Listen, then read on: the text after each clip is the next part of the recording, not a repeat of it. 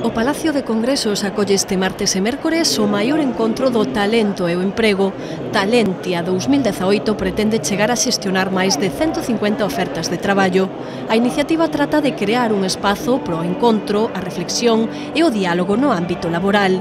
Buscar ideas, coñecer empresas de cerca ou atopar unha orientación pro futuro son as bases deste foro. Eu son diseñador industrial e nada, estou un pouco a ver que tipo de empresas hai aquí, así relacionadas co meu perfil.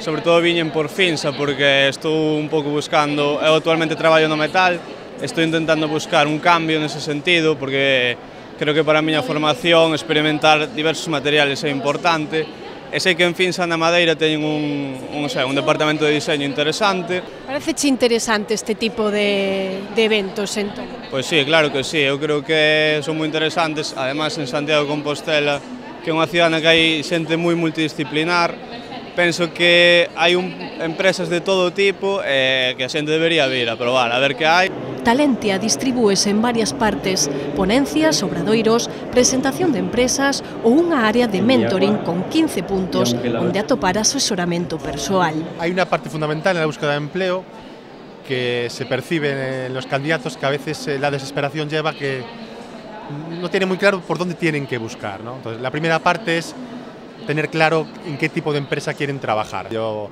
cuando era joven también me vi en esa situación y a veces eh, es difícil centrarse, pero sí que ves a mucha gente que te dice cosas como yo trabajo de lo que sea, trabajo de todo y eso hoy es el gran error desde mi punto de vista. Tú quieres saber en qué empresa quieres trabajar, tener el listado de esas empresas, ser un perfil candidato y atractivo en redes sociales, en marca, eh, ir allí proactivamente a buscar empresas y a partir de ahí, pues yo creo que esa es la parte creo que más nos toca hoy. Os asistentes tamén poden aproveitar para crear a súa propia marca persoal, por exemplo, elaborando un videocurrículo.